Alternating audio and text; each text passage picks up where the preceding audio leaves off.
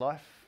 Um, what I think he was going to talk about was Kart, uh, which is a new version control system that we've built at Koordinates and that we use heavily in the back end and it'll be the way we move forward with most of our data publishing in the future. Uh, it's open source. This is where you can download it, kartproject.org. It's built for Linux and Macs and Windows, so most bases covered.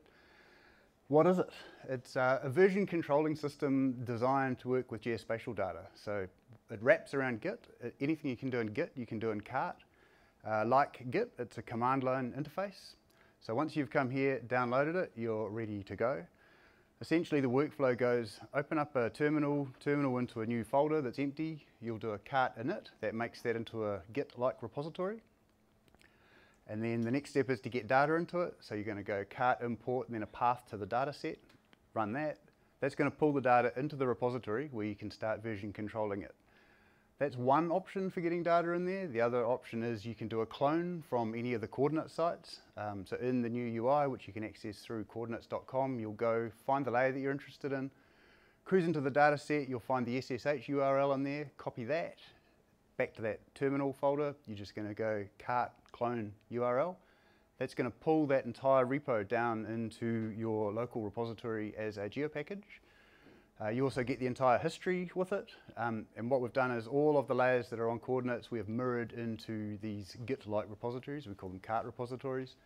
What we used to call change sets are now commits. So every time a publisher had pushed a new layer up, we've pulled all those out, put them into commits. They have their crypto hash numbers. You can reset back to a point in time.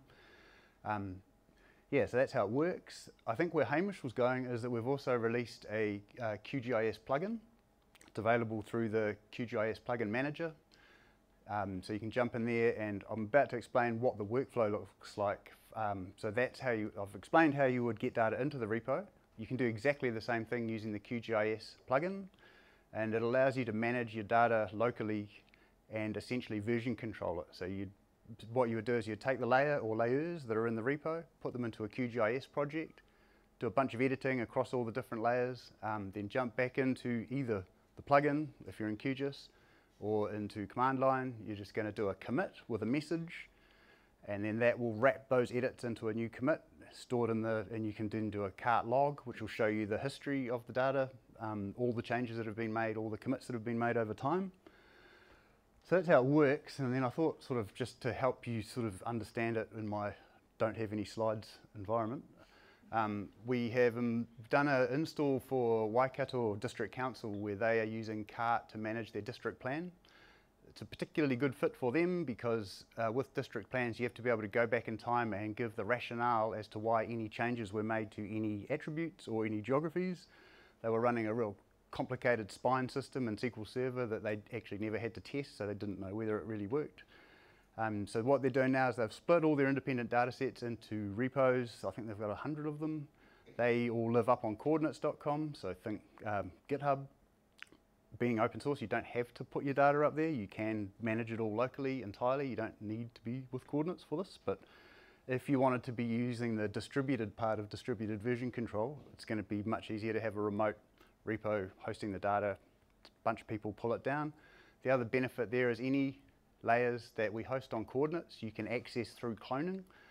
So say if you wanted the primary parcels from LINZ, you can go kart clone the URL for the primary parcels. That's going to pull that data set down. And then if you wanted to, you can, you can go into, we've also released an app which does the same thing, which is free, um, so no license associated with it.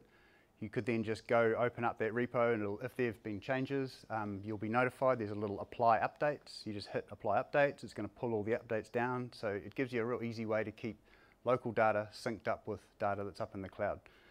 So um, yeah, then the other thing Waikato do is they publish their layers. They, like Git, you can create branches, push your branches back up to the repo. You can publish that branch. Um, so in the district plan, they've got phases that they release then sometimes the phase will jump ahead, so they'll branch off the main trunk, uh, publish that, and then when that gets accepted into the operative data set, they just simply do a merge. It'll, we've got a conflict resolution flow to deal with that. Um, but yeah, so that's how it works. You're welcome to check it out in QGIS, and um, hopefully I've given you enough information to give it a bit of a crank. So thank you very much.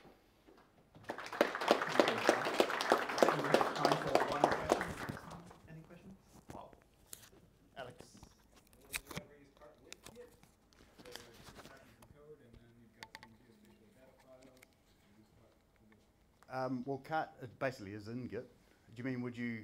Like say you have a project that's code and data, and you're tracking the code with Git and tracking the geodata with Kart, is that gonna work? Uh, that would take more work. Um, at the moment, a Kart repository holds data only. Um, we're basically extending it out so that we can currently track schematic changes, metadata, and data. First cab off the rank was Vector. Um, next is Point Clouds, which we're releasing really shortly. And then next after that will be raster. Um, then we will look at how you might combine other file types, documents, and so forth into the same model. Yeah. Just off the back of that question, does that mean you could have like a Kart repository associated with a Git repository and pull the data from Kart into Git? It's potentially doable. There's a fair bit of magic going on in the Kart repositories. So, um, like, what in theory you could put a Kart repo into a Git host, but you would have to do some things to make it work. So, yeah, there's been a couple of years of R and D in it that you'd have to reverse engineer it probably. So, yeah. Thank you for the questions. Ian, sorry about that. Um, maybe